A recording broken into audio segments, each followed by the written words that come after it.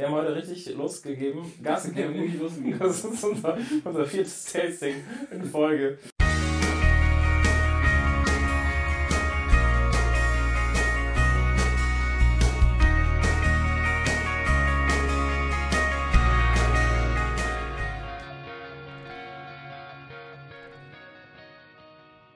Hallo Leute, Hey, was geht? wir sind wieder da. Lange war still um uns. Und jetzt ist es wieder lauter. Eure Whisky. Eure Whisky Adler. Ja, gut. Danke. Eure Whisky Adler. Und heute fliegen wir mal wieder nach Schottland.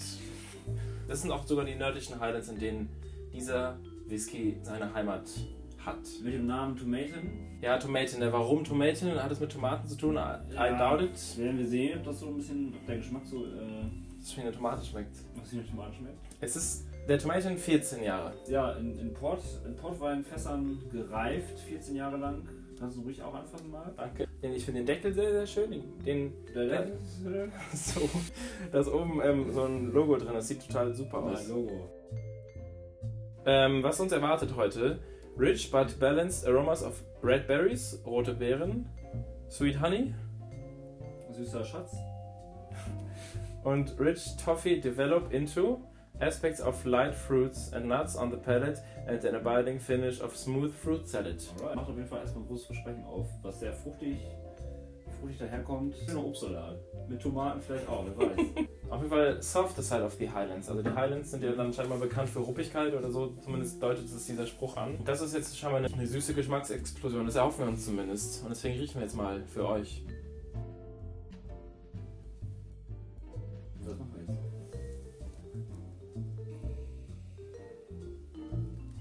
Kom komplexe Fruchtsüße da schon direkt. Also, Muss man erstmal so ein bisschen sortieren für sich selber. ne? ja, genau, für sich Nase. selber. In der Nase.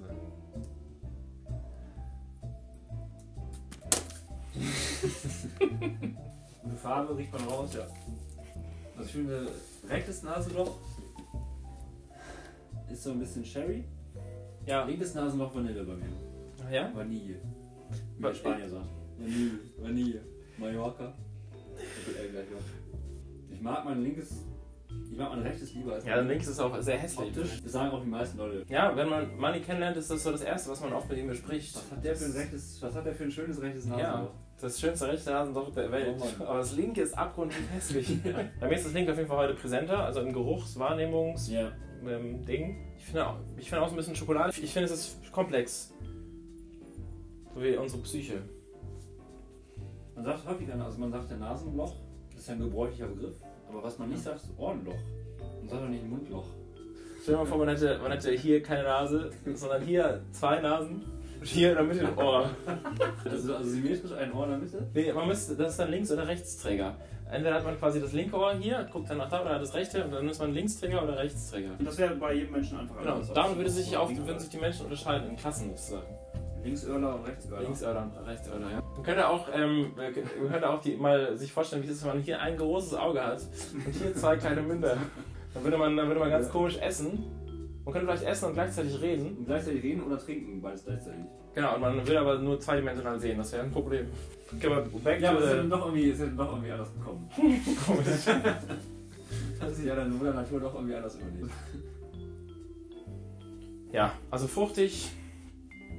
Ich finde auch irgendwie schokoladig. Ich finde ich auch. Ach, doch, ich finde es auch. Okay, lass Okay, uns machen wir mal rein. Ja. Prost, ja. Mhm.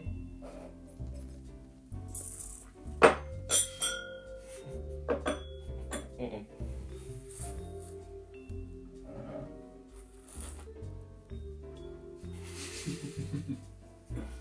Kann kein Krieg. Aufdringlich, fruchtig. Wo im Abgang oder in der Mund? Im Abgang. Ich fand im Mund, im Mund fand ich helle Früchte, im Abgang dunkle Früchte. Ich finde, er ist, er, ist, er ist schon fruchtig und süß, aber er ist nicht, er ist nicht so weihnachtlich. Also er hat so nicht so zimtige Noten, das hatten wir auch schon mal, sondern Ja, beim Augentauschen. Obstsalat, keine Ahnung. Also. Der Punkt ist ja, man riecht, man schmeckt und riecht ja nicht die Früchte, wie sie sind, sondern man riecht sie immer in so einem alkoholischen Kontext. Also ich finde, alle Früchte, die man irgendwie wiedererkennt so ein bisschen, sind immer irgendwie eingelegte Früchte. Bohle oder so. Ja, genau, Bohle. Und ich finde, ähm, da ist es wie eine, wie so eine sehr, sehr lange stehende Bohle. So eine Bohle, die, die hat man so vorbereitet für eine Party und dann ist die Party ausgefallen Die wegen Corona und dann hat man die drei Jahre lang stehen lassen. Und sie ist aber nicht abgelaufen, sondern sie ist Nee, reicher geworden, ja. Auf jeden Fall auch Honig, auf jeden Fall Honig. Ja, Honig finde ich auch.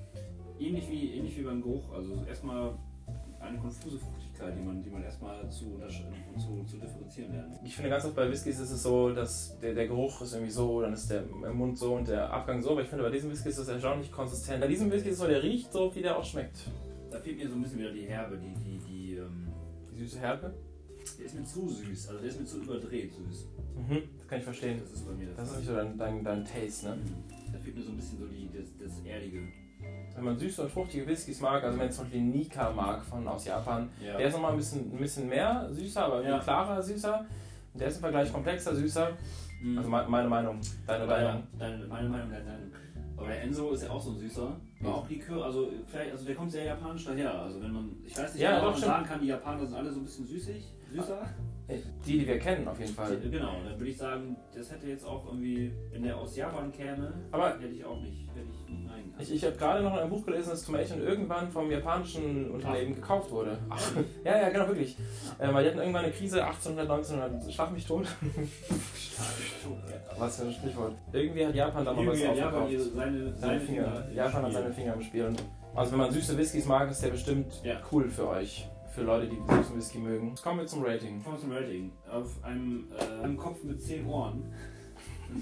Das wäre auf einem Planeten, wo 10 Ohren auf jeden Fall 10 Euro hat einen Platz auf diesem Kopf. Maximum wären, genau. Was, wofür würde sich Mutter Natur denn so entscheiden? Ja, ich, ne, ich würde halt so 4 von 10 Ohren würde ich sagen. Da muss ich schon ein bisschen strenger sein. Ich finde den, also das ist Geschmackssache auf jeden Fall. Ich glaube, für jemanden, der süße Whiskys mag, diese ähm, Leute hätten auf jeden Fall 7 Ohren am Kopf. Okay. Ähm, aber whatever, für mich persönlich 5 bis 6 tatsächlich auch. Das ist ein solider, süßer Whisky für Leute, die süße Whiskys mögen und ähm, da, da judgen wir auch nicht. Wenn, das wenn, wenn du das gerade bist, du bist trotzdem klasse Mensch, als für mich, für uns. Für uns sowieso. Hey, Ja, gut, Leute, jetzt kennt ihr den auch. Ich mache noch ein Geständnis. Wir haben heute richtig losgegeben, Gas gegeben. Das ist unser, unser viertes Tasting in Folge. Falls ihr das merkt, dann. In die, Ko- schreib's in die Kommis, wenn ihr das merkt. Und wenn nicht, dann nicht. Wir machen jetzt immer so, wenn der Whisky, wenn der Whisky nicht so toll war, dann tun wir den hier einfach. Tun wir den hier einfach in den Kasten rein. Und schicken das direkt nach Dann schicken Japan. es zurück wieder nach Japan. Okay. Gut. Gut, Tschüss, Leute. Tschüss.